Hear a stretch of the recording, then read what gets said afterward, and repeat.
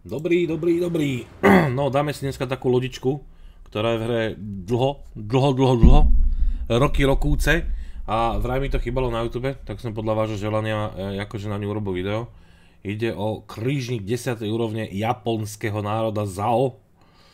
Uh, hru budeme komentovať pomedzi, ja vám zase poviem základnú štatistiku za, aby ste tomu rozumeli, verili a videli, čo tá loď má na sebe, alebo čo tá loď nemá na sebe Kanony máme 203, máme ich tam veľmi veľa a v preklade 4x3, 12 203.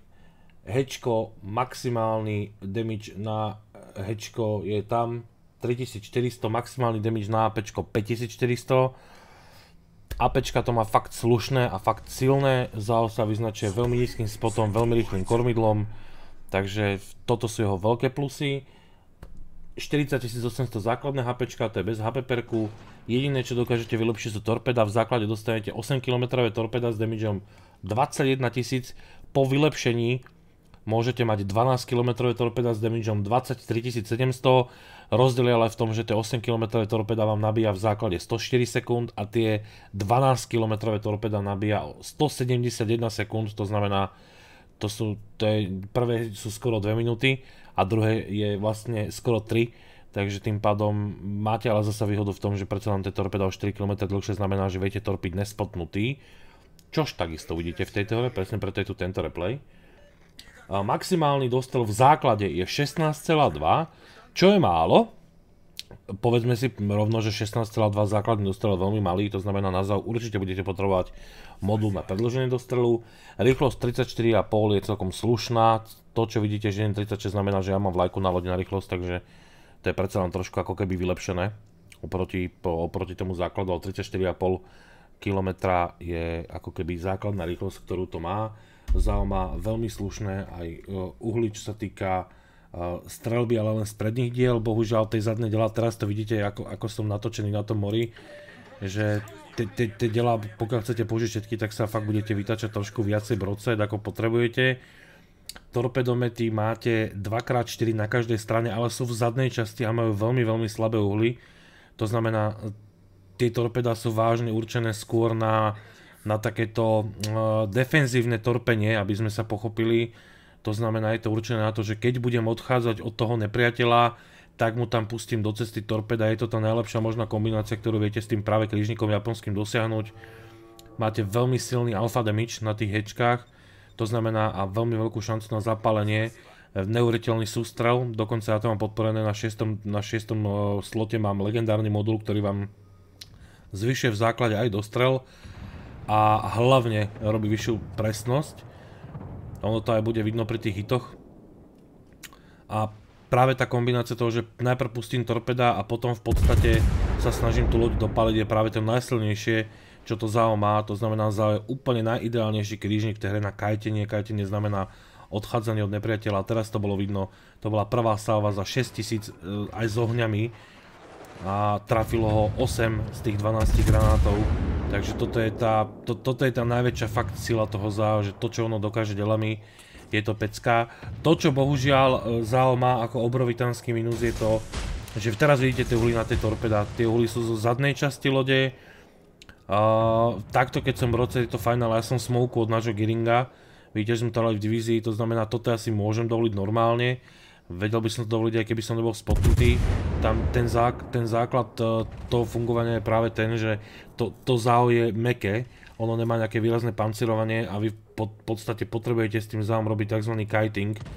To znamená, odchádzam od nepriateľa, utekám, utekám pred ním, aby som to povedal úplne jednoznačne a mením smer, to znamená doľava, doprava, doľava, doprava, nedržím tú priamku, hrám sa do toho s rýchlosťou a práve to je ten kiting, to znamená, toto je to, čo má to za absolútne najsilnejšie zo všetkých lodí a presne je to len vďaka tým 12 km neuveriteľne silným torpedám japonským, ktoré dávajú na damage, ktoré majú damage cez 20 tisíc, to znamená, ako náhle vy trafíte nejakú loď tým torpedom, tak tá lode samozrejme okamžite ju to neuveriteľne boli, tam to bolo vidno, to boli dve torpeda, dobuchnutý od na začiatok. Úplne ideálna pozícia pre mňa, bitevka tlačí do vás, to je to, čo v podstate to zaujíma doslova ako keby, jak cukriček si vypapáte tú bitevku. Tá nevýhoda toho za, pri, tých, pri tomto hraní alebo celkovo tá nevýhoda toho za ako takého je to, že to veľmi meká lodička. A ako náhle vám niečo fakt veľmi dobre vás trafi pod tej, pod tej veže, tak tá citadela tam zapadne. A vzhľadom na to, že ste tier 10 krížnik a vaše základné HPčka sú len 40 tisíc, čo je fakt šialene málo, tak doslova do písmena vám stačia dve citadely, ktoré vám napalia do lode a vaša loď automaticky bez HPčiek. Máte k tomu nejaký heal, ale ten heal není v základe absolútne žiadny silný, to je skôr takéto situačné dohylovanie, že áno, síce vám to pomôže, ale určite to sa nedohľujete ako Minotaur, prípadne Conqueror. A takisto teraz bolo vidno tú salu, to, to, do toho Aigara, to je krížnik, dostal 11 z 12 granátov a damage za 11 tisíc, to sú proste... To, to zaomá tie dela neuveriteľným spôsobom, silné neuveriteľným spôsobom a pra, práve vďaka aj tomu legendárnemu modulu je tam posilená tá presnosť. Ja ešte v, v rovno poviem na začiatok, pre, tým, pre tých, ktorých sa momentálne páči to, že aktuálne ešte je 5 minúta a už tam 80 tisíc, že uh, táto hra bude mať uh, možno iný koniec ako čakáte. Každopádne uh, musím ešte povedať ďalšiu vec.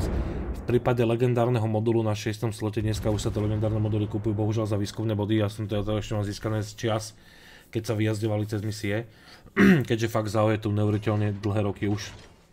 Ako ako top krížnik, bohužiaľ už sa ho veľa nevidí v klanovkách. Ja ho mám postavený na setup aj na build na klanovky, to znamená kapitán má RPF, to vidíte, kapitán je robený fakt do spotu a do, do zapalovania, pretože to zához sme posielali, posielali vždy ako keby na stráženie jednej strany, eh, kde mal kajtiť a odchádzať a mal doslova ako keby držať tých nemákov na dištanc, kým tá druhá strana to proste dopušuje alebo vyhrá. Stále mám rovnaký setup na tom závod od začiatku, to znamená, ja to ani absolútne nemením. Ten setup je pre mňa ideálny, ten setup aj v podstate do normálnej hry. Uh, ste veľmi, veľmi v podstate zraniteľní voči lietadlovej lodi. Veľmi vás bude boleť, pokiaľ vás napálí simultálne nejaký kríž, alebo niekto vám trafi fakt citadelu, veľmi to pocítite vzhľadom na HP pool, ktorý máte. Takisto pokiaľ náhodou stretnete Conquerora, Thunderera, alebo ako sa mne dneska stalo v jednej hre, že ma Yamato trafilo hečkami, tak takisto bohužiaľ vzhľadom na to plátovanie vašej loďky obrovitánsky rýchlo vám obudnú HPčka a máte veľmi veľký problém, pretože tam fakt potom stačí, aby vás doklepávali každou salou za, za 5-6 tisíc, ktorú vám budú dávať úplne bežne, normálne HPčkami. Aj keď vás netrafia do citadely, bohužiaľ ten váš heal vám to nedovolí vyhealovať po, po nejakej sústredenej palbe minútovej, minútu, minútu a pol, kedy bitevka vám trikrát raz do citadelu a potom vás fakt 3-4 krát trafí, tak automaticky ten krížnik proste pôjde dole preto s tým záom sa dá hrať e, len alebo najlepší spôsob hrania to je fakt na odchádzanie od nepriateľa a doslova si kontrolovanie toho, toho výstrelov, tých výstrelov od toho nepriateľa, že koľko ľudí na vás mierí, prípadne varovanie pred prichádzajúcou palbou, fakt to treba sledovať. Ten krížnik je taký, povedzme, že je hodne, hodne uh, zábavný na hranie, pokiaľ ste ochotní ovládať a rozumieť takej tej ako keby mechanike tej hry a fakt si chcete dávať pozor, sledujete tú minimapu, sledujete to, čo sa deje, tak to za vás v tomto prípade dokáže veľmi, veľmi pekne odmeniť. Ten, ten základný, fakt ten veľmi veľký alpha damage, to znamená to základné poškodenie na hečku, je, je obrovitánsky prínos, teraz to bolo vidno. Thunder APčkami a prvá salva za 9000, vidíte, jak mi zmizla doslova štvrtina lode preč. Hej. A to ani nebola citadela. Takže toto, toto hovorím, toto sú také tie, ako tie plusy a minusy si, si môžeme možno aj akože kompletne zhrnúť v podstate. Uh, také tie najväčšie, najväčšie plusy toho za, aby ste to ešte raz zapamätali, je základný damage je výborný, inak som zabudol povedať, že základný, základný reload time na, na hlavných delách je 13 sekúnd, to znamená, treba to znižovať niečím. Nejakým modulom a podobne. Do, dosah odhalenia aktuálne bol 9.9, teraz po novom Neviem, či to není, alebo bol 9.1, teraz ponovne to 9.9, furt to milím. Normálne si to milím, teraz si nepamätám, ale bude to okolo, bude to po 10, by to malo byť ešte stále. Takže, máte veľmi presné dela s vysokým alfa damageom aj na hečkách, APčka majú ešte väčší damage a majú fakt veľmi dobrú trajektóriu letu. Takže križníky fakt dobrocedu rozkúšate neuveriteľným spôsobom, máte tam 12 diel, to znamená 12 diel pri damage cez 5000 na APčku, znamená, že doslova dokážete vymazať na jeden výstrel aj demoj na Dobrocajdu, pokiaľ vám tam napadou citadely. Je to až tak šialene silná loď a, fakt má tú tendenciu napalovať v podstate tie, e, tie damage absolútne presne. Takže v tomto je to super. veľmi, veľmi dobrá výhoda je aj to rýchle kormidlo, to znamená za 7,7 sekundy v základe bez vylepšení sa vám to kormidlo otočí do plného ako keby po, naplno, to znamená automaticky začne zatáčať, to samozrejme zasa obrovsky pomáha k tomu hernému štýlu, ktorý má to za ako keby predvádzať v tej hre. Ja som teraz prepol APčka, bohužiaľ už to nestihnem, pokiaľ si dobre pamätám, pretože ZAO bolo rýchlejšie a bohužiaľ to mi zašlo. Ale vidíte, že celý čas, teraz takisto nenaháňal som enemákov, ale videl som, že dole tlačia a práve pre mňa lepšia tá vec, kedy ja, ja sa dostanem pred nepriateľa a snažím sa ja od neho odchádzať. To je, to je práve tá úloha, kde je to ZAO fakt silné. Uh, poviem vám dlhoročný príklad z Klanovie, kde uh, väčšina tímov používala Hindenburga, na, vtedy ešte neexistovali Stalingrady a Petropavlovsky a teda v Ústre. Fakt sa hrali normálne lode typu Moskva, Zao Hindenburg, prípadne Des Moines. A, a práve, vtedy, práve vtedy všetci používali Hindenburgy na, na, práve na tlačenie, to znamená ten push. A Zao bol na nich najlepší counter, aký existoval. Takže to, to bolo úplne ideálne. Dnes už je to samozrejme trošku, trošku iné, Zao bohužiaľ už ani tak veľmi sa nevidí. Ani v hre, v klanovkách už vôbec nie, pretože Zao, nakoľko, ako som spomínal, ako je meké, ako má malo HPčiek, ako náhle sa proti vám postaví fakt Stalingrad, e, prípadne ponovom Petropavlovsk, tak to Zao proste dostane dve saly do broadside a bude to neuveriteľne bolieť. Má, pokiaľ si dobre spomínam na tento replay, tak malo, alebo na túto hru, tak malo by to byť bohužiaľ za chvíľu vidno aj proti tomu Igrovi. mám taký dom, že neviem, či ma tam raz dobre netrafil. Každopádne tie granáty majú super sústrel na to, že ho strelám na čumák, tak 50% šanca na hit je proste fakt dosť dobrá, to znamená 6 z 12 ho trafí. A, hlavne aj tá vysoká šanca na zapálenie je proste takisto ultimátna. Teraz to bolo vidno, 13 000 som dostal a vidíte, že to nie sú nejaké extrémne salvy, keď si zoberiete, že to není nejaká super ultra salva, ale práve, práve ten váš malý, malý, uh, tie vaše malé HPčka, ktoré máte na tej lodi v základe, bohužiaľ spravia to, že pár takýchto salv do vás príde v tej hre a, a vy, vy už bohužiaľ nebudete mať veľa, čo toho dohylujete a hlavne, hlavne vám tam nedohyluje tak strašne veľa tých HPčiek, to znamená, vy už sa nevrátite do tej hry s tým, že ešte dojdem naspäť, kde, kde mám 50 tisíc HPčiek ako bitevka a že kľudne z tých 100 tisíc mi môže niekto niečo zobrať. Hej, zasa 203, bohužiaľ trafil som ho hore asi na tej veže, kde tu neprestrelím podľa toho, podľa samozrejme penetrácia, ale nepenetrujem, to znamená, že tam som aspoň zapalil. Teraz ten Vladivostok, to bolo vidno, že to za ono má celkom aj taký ten slušný armor, že kde sa to, niekde sa to odrazí, niekde nie, bohužiaľ tie čisté brocedové veci alebo sa nastavové moduly, tie vám vybuchajú okamžite.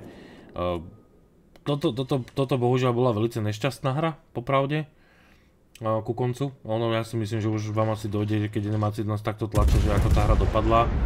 To samozrejme není ani finálny damage, ten, ten, ten tam ešte narastie. Dojdú tam ešte aj nejaké tie killy, zase ďalšie zapálenie, to už je 17. oheň, to už, už absolútne není špatné. Dokonca mi tam Vladivostok takto pekne dohorel. Ja ho tam trafil, trafil ho tam ešte Bismarck. A mne tam dohorel, ja vďaka tomu RPF a vďaka tomu Hydru, Samozrejme viem asi, kde je aj ten Haaland to DD, tak snažím sa tam nejako manevrovať, ale no, Zao je v, tom, v, tom, v tomto je to Zao výborné, teraz je fakt vidno aj to kormidlo. Ja som sa preto rozhodol tam na práve tento replay, že bolo to vidno, Sice nie je také dlhé kajtenie, to, to, čo, to čo by ste si možno vedeli predstaviť, že utekáte veľmi, veľmi dlho pred enemákmi, ale práve to, že to ZAO je tak strašne, hm, jak by som to nazval tak, aby, ste pochopili to, jak je krásne akčné, že, vďaka aj tej rýchlej manevrovateľnosti kormidiel je to super. Zás jedna z tých nevýhod sú veľmi pomaly otačajúce sa veže, to znamená, vy neviete manevrovať tými vežami ako Minotaur alebo Wooster, že vám to pretočí pomaly za sekundu tie veže a viete byť okamžite z jednej na druhej strany, keď sa budete točiť takisto nemáte tú výhodu, ktorú má Petr Pavlovsk, že zadná väža má 360 stupňov, tým pádom v podstate sa točí zároveň s vami a točí sa šialene rýchlo. Bohužiaľ aj teraz tie torpedomety bolo vidno, že pokiaľ sa chcem otočiť smerom dozadu a pustiť tie torpeda, zase musím otočiť oveľa väčší ten broadside ako doteraz, takže takisto to nie je úplne to najlepšie, ktoré v podstate viete v tej hre ako keby spraviť. Bohužiaľ toto, má, toto sú také tie nie dobré stránky za, ale to za vás odmení aj tým sústrelom a dokáže vás odmeniť, pokiaľ, pokiaľ máte tú trpezlivosť doslova tých enemákov, poviem úplne priamo, nasierať, tak pokiaľ chcete enemáka fakt nasrať s tým, s tým kajtením, s tým, že sa vyhýbate jeho výstrelom, s tým, že meníte rýchlosť, meníte smer a všetky ostatné veci, Hej, teraz je to proste vidno. Teraz ma netrafil, pritom som od neho na 10 km. To sa zastavíte, otočíte, 12 granátov som trafil z 12. To je úplne super šialená presnosť. On už je ale bohužiaľ dobitý, takže tam už mu to veľa na tých nadstavách nerobí. Tam už to je vidno, že to podľa toho damage, ktorý dostáva, to už je saturovaný damage. Alebo to je, to je damage robený do saturovaných častí. Každopádne toto je presne ono, že aj napriek tomu, že vás naháňa tá bitevka, tak vy sa s tým viete pohrať. A zasa, hej, zasa vidíte tie moje HPčka, to je proste, doslova sa držím až na minime. Je to, je to bohužiaľ také, no. Teraz nám dokonca detonoval ten Bismarck, to už bolo, už som 1v4. Bolo by to strašne super, keby som v tejto chvíli povedal, že tá hra dopadne spôsobom, že tých 4 zabijem a bude z toho samelý bojovník a 7 kg, ale bohužiaľ nebude.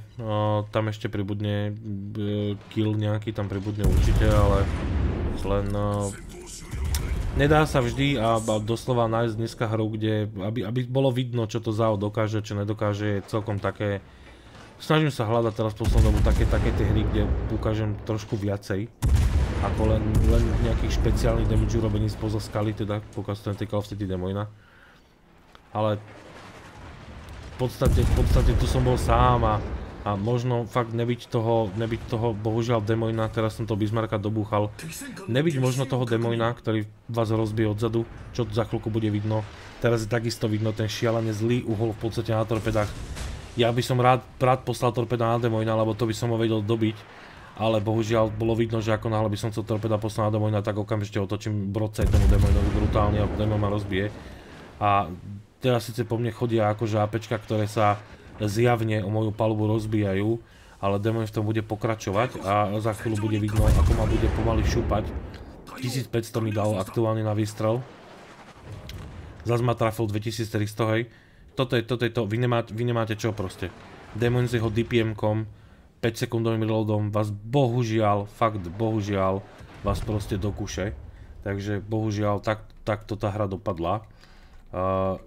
Zoberieme si samozrejme ako keby tie záverečné screeny, tá hra dopadla takto. Není to takto, není to akože zlý výsledok, určite na desnový krížnik to není ani zlý výsledok. Myslím, že tá hra obsahuje aj to, čo by mala obsahovať. Bolo aj vidno tie torpeda, keď sa aj trafili, že dávajú veľký damage. Bolo ale vidno aj tie situácie, keď tie torpeda by boli veľmi výrazne pomohli a bohužiaľ, bohužiaľ, kvôli tým uhlom boli nepoužiteľné. Hej. Takisto tým, že nemáte taký brutálny eh, armor turtleback ako napríklad nemecké lode, tak nemôžete si dovoliť s tými torpedami vojsť dopredu. Práve, práve z japonských krížnikov, krížnik, ktorý má veľmi dobré torpedové uhly, je práve Atago prémiové, ktoré má tie uhly úplne dopredu, to znamená, za takom viete tie torpeda posielať s tým, že idete na niekoho priamo. Bohužiaľ Zao takúto výhodu nemá. To znamená, ja si myslím, že táto hra obsahovala tie veci, ktoré mala.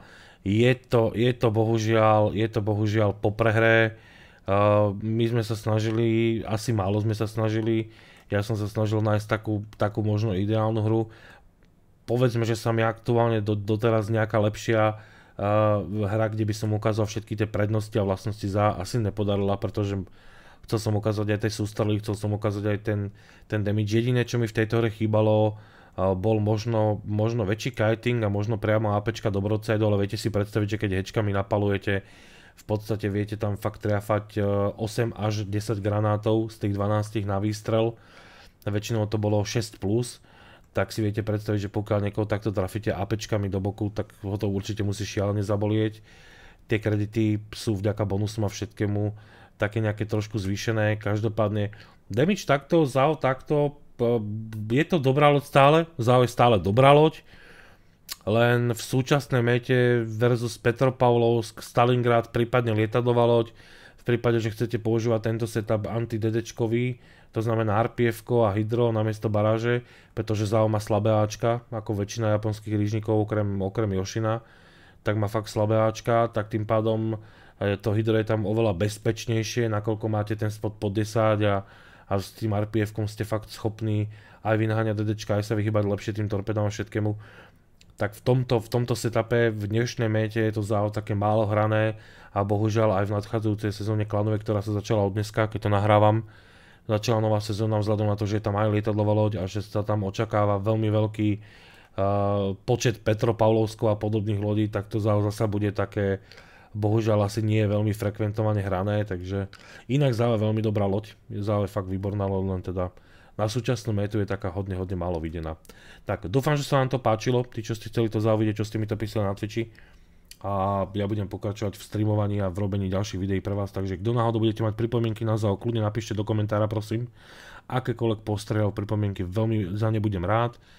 Kto chcete vidieť nejakú inú lodičku, kľudne do komentára napíšte, akú lodičku by ste chceli vidieť dokumentovanú, zahranú, prípadne nejaké presné vysvetlenie toho, ako s nejakou loďou presne hrať. To je samozrejme, ja to veľmi rád pre vás spravím, pokiaľ si vy napíšete, čo by ste radi videli. No a ja vám ďakujem za sledovanie. Pokiaľ nemáte odber, tak ma môžete potešiť tým, že si dáte odber, alebo to poviete, alebo to môžete kľudne video zdieľať, budem veľmi rád, keď to budem mať nejaké tie videnia pretože čím viacej videní to video bude mať, ja to síce nezarábam, ale čím viacej bude mať videní, tak je tu šanca, že by náhodou Wargaming ma mohol posunúť na kontribútora vyššej úrovne, to znamená toho levelu 2 a tým pádom by ste vy mohli vyhrávať prémiové lode aj všetky nové, ktoré dojdú do hry, čož bohužiaľ dneska vám nikto z slovenskej komunity nemôže poskytnúť, takže čím viac budem mať videní na videách, tak tým bližšie budem k tomu, aby ste ešte mali okrem tých cien, ktoré vám dávam aj prémiové lodičky, takže je to len ale na vás, je to zadarmo. Vo vašom prípade stačí na to klikať, kúkať, prípadne fakt nechať nejaký koment a ja budem rád za akúkoľvek spätnú väzbu, ktorú mi poskytnete. Ďakujem pekne všetkým, želám vám príjemný deň, noc alebo ráno, kedy to pozeráte. Vidíme sa na streame alebo počujeme sa v ďalšom, ďalšom videu. Ahojte, čaute.